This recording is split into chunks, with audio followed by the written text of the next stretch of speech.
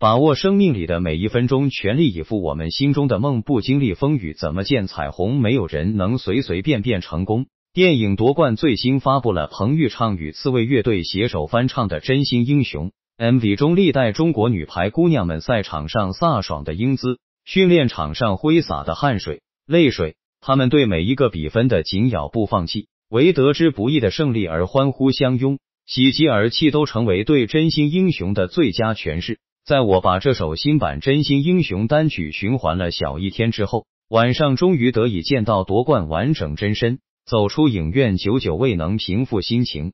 随后翻看网上夺冠的第一波观影评价，出现的高频词就是燃、热血、泪目、振奋人心、民族自豪感爆棚。果然，大家的感受都是相同的。话说，因为特殊原因，二零二零年宕机了大半年。如今太需要这样一部正能量燃爆的夯片来提振士气、鼓舞人心。说实在的，颓了大半年的小编从未像现在这样迫切的需要鸡血。看完夺冠走出影院，我觉得神清气爽。我的二零二零年刚刚开始，大干一百天，再过一整年，影片的燃情建立在片方的良心之上。真要感谢夺冠，将一九八一年女排世界杯中日大战。这场停驻在国人黑白电视记忆里的重要比赛，鲜活而立体的呈现在大荧幕之上。虽然我早已熟知这场比赛的结果，但赛前姑娘们在漳州基地的苦练、铁榔头的成长、陈指导的女排陪练生涯，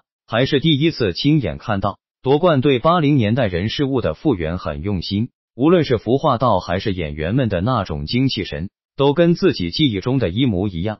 饰演青年郎平的是郎平的女儿白浪，知母莫若女。同为排球女将的她，形神兼备。看影片的时候，常常就把她当成了当年的铁榔头本尊。女排姑娘们烫头发的梗，相当带感。以前就对电视机里姑娘们整齐划一的女排卷记忆深刻。夺冠里女排集体烫头的还原，让影院里不禁传出会心的笑声。不知道女排卷的潮流会不会再次回潮呢？说回影片，哨声响起，女排上场，熟悉的宋世雄老师的解说声响起。坐在影院里的我，一瞬间秒回童年，铁榔头就在你眼前高高跃起，一次次重扣为中国女排锁定胜局，那种代入感真的让我忍不住要为每一个中国女排的得分而跳起。当他们最终赢得比赛时，大家也跟女排姑娘们一样，喜极而泣，流下激动的泪水。如果说影片中一九八一年的中日大战让人有进入历史的感觉，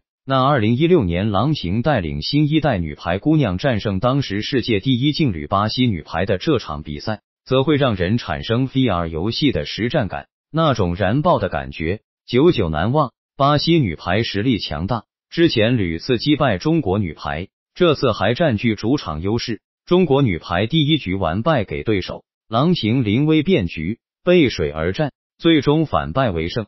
即使你对这场比赛的现场直播还记忆犹新，但夺冠里为你展现的却是更高级别的震撼与刺激。二十一世纪排球作为一种职业运动，那种紧张、刺激、炫目的节奏，影片进行了高水平的展现。即使你已经知道了所有比赛的得分结果，但看电影的时候，你仿佛也置身于球场之上，被灯光、观众、摄影机。不知从哪飞来的球，三百六十度环绕，一颗心提到了嗓子眼，紧张的手心都在冒汗。优秀体育影片所追求的身临其境，夺冠真的做到了。影片中演员的演技也没有让大家失望。第一次触电大荧幕演自己的女排姑娘们，现实中她们是最好的球员，在夺冠里也是最好的演员。我们熟悉的朱婷、惠若琪。张常宁在影片里比在体育直播里更可爱，而巩俐饰演的郎平指导，从气场到肢体语言再到一些微表情都相当的绝。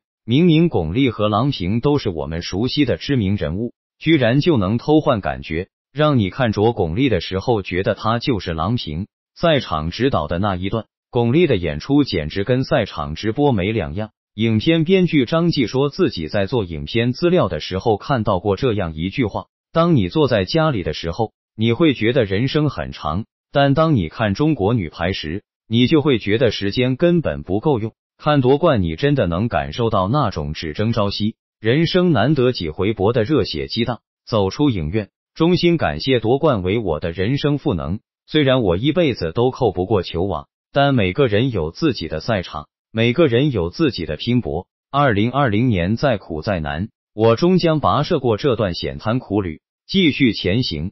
听我的，九月二十五日一定要去看夺冠，为咱中国女排喝彩，为你的二零二零年赋能。